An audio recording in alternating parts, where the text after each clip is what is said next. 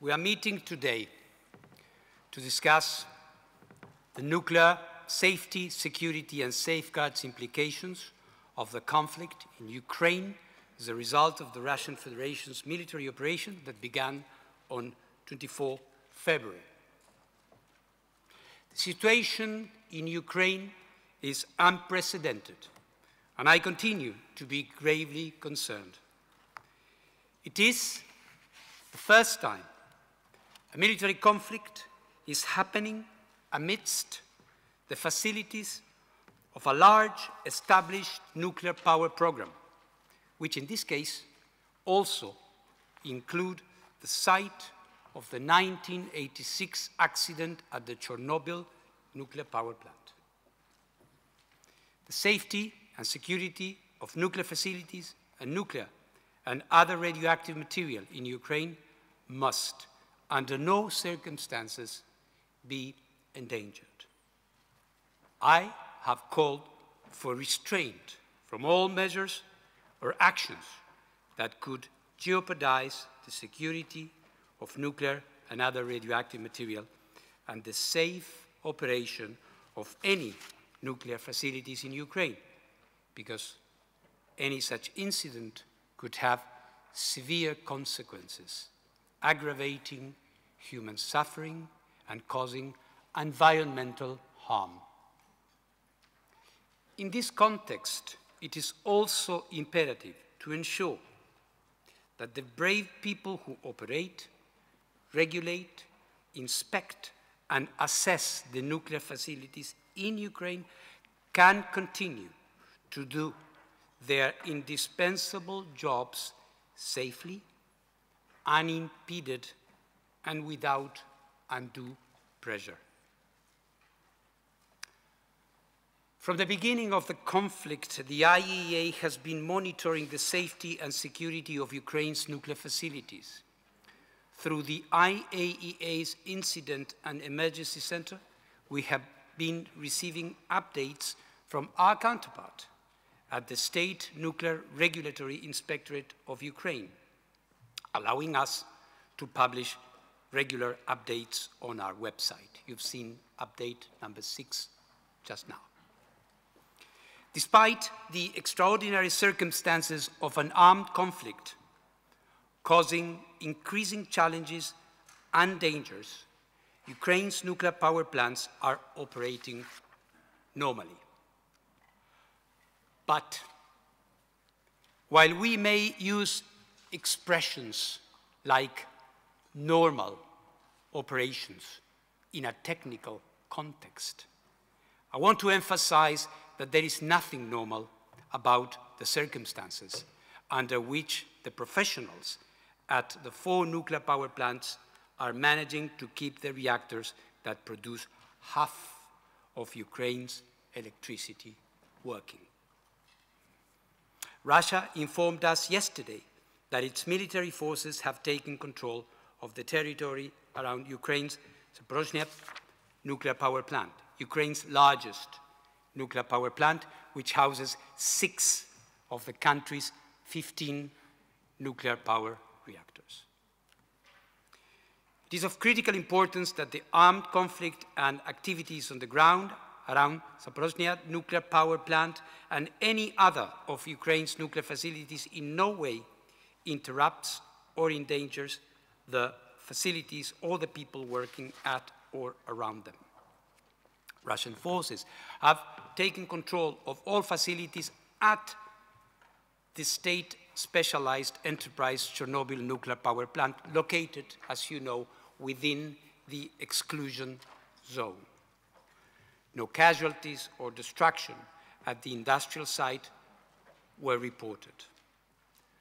While increased levels of radiation were initially measured at the site, likely due to the movement of heavy military vehicles disturbing the soil, the IAEA assessed that they remained low enough not to pose a hazard to the public. It is of utmost importance that the staff working at the specialized enterprise, Chernobyl, are able to do their job safely and effectively. and that their personal well-being is guaranteed by those who have taken control. Yesterday, I received a letter from the SNRIU, the Ukrainian regulator, requesting me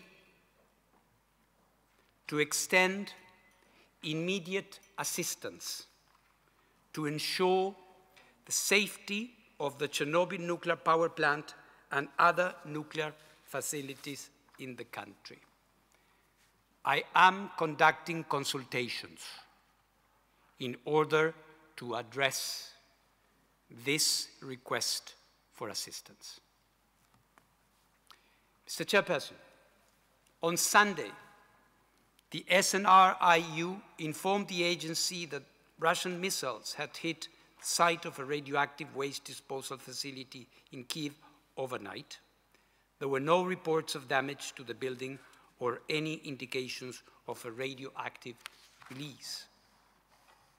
The strike came a day after the regulator said an electrical transformer at a similar disposal facility near the northeastern city of Kharkiv had been damaged, also without any reports of a radioactive release. Such facilities typically hold disused radioactive sources and other low-level waste from hospitals and industry.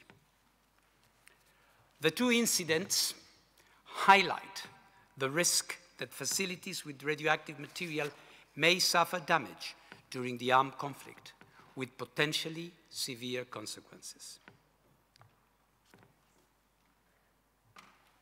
In this context, it is necessary and urgent to renew an appeal to all states without exception to reaffirm their commitment to upholding international law and to fulfilling the obligation they agreed to when the IAEA General Conference unanimously adopted a decision in 2009 to reaffirm resolutions adopted already in 1985 and in 1990, stating that, and I quote, any armed attack on and threat against nuclear facilities devoted to peaceful purposes constitutes a violation of the principles of the United Nations Charter, international law, and the statute of the agency. Today, ladies and gentlemen, this commitment acquires a sense of profound moral significance.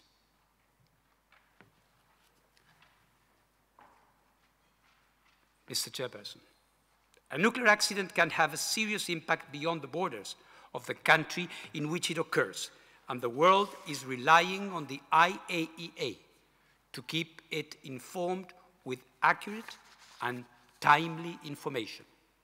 A key source of information for the agency is the Ukrainian regulator, which I mentioned. Ukraine's ability to provide accurate and complete data on the safety and security of the operation of all nuclear facilities in Ukraine should not be interrupted, impeded, or influenced. This is particularly critical during an armed conflict which heightens the risk of nuclear accidents and makes the response more difficult. At the heart of nuclear safety are the three main safety functions, containment, control, and cooling. And in concrete terms, what this means. One, the physical integrity of the facilities, whether it is the reactors, fuel ponds, or radioactive waste stores, must be maintained. Two, all safety and security systems and equipment must be fully functional at all times. Three, the operating staff must be able to fulfill their safety and security duties and have the capacity to make decisions free of undue pressure. Four, there must be secure off-site power supply from the grid for all nuclear sites. Five, there must be uninterrupted logistical supply chains and transportation to and from the sites. Six, there must be effective on-site and off-site radiation monitoring systems and emergency preparedness and response measures. Seven, and finally, there must be reliable communications with the regulator and others. Mr. Chairperson, so far I have described the agency's monitoring of the safety and security of Ukraine's nuclear sites. As regards safeguards, let me inform you that safeguards in Ukraine are under the Comprehensive Safeguards Agreement and the Additional Protocol of Ukraine, and that the agency's safeguards activities are ongoing. I will continue to keep the board appraised of the agency's fulfillment of its mandate with regards to nuclear safety, security, and safeguards in Ukraine. The IAEA unique mandate makes it the sole independent international technical organization providing regular updates on the safety and security of Ukraine's nuclear facilities. At a time of great uncertainty, this aspect of our work is indispensable. Ladies and gentlemen, let me end by saying this. I enumerate a number of technical things, and I'm sure you will be discussing this and other things, and I am going to be working hard uh, on them as well. But the best action to ensure the safety and security of Ukraine's nuclear facilities and its people would be for this armed conflict to end now. Thank you.